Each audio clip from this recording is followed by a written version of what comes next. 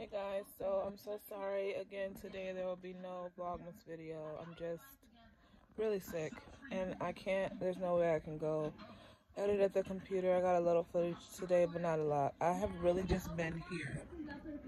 I've been here, let me show you, in my bed this entire time mostly. I was on the couch a little, I mean I was in, in the living room on my chair a little but I haven't done anything. There's no way I could do a video. I'm just really, really sick.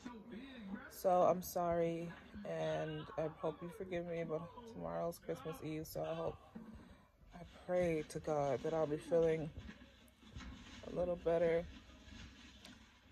Just the infusion and then my pseudotumor headaches that's like making my vision go really bad. So just pray for me that I get over all this stuff soon because I want to finish out Vlogmas strong, but I can't right now.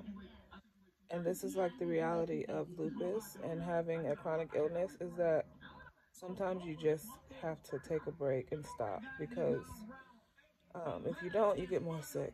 So there's nothing I can do. I'm so sorry. Thank you for all your prayers and well wishes. And hopefully I'll see you tomorrow with a better video and better spirits. Thanks.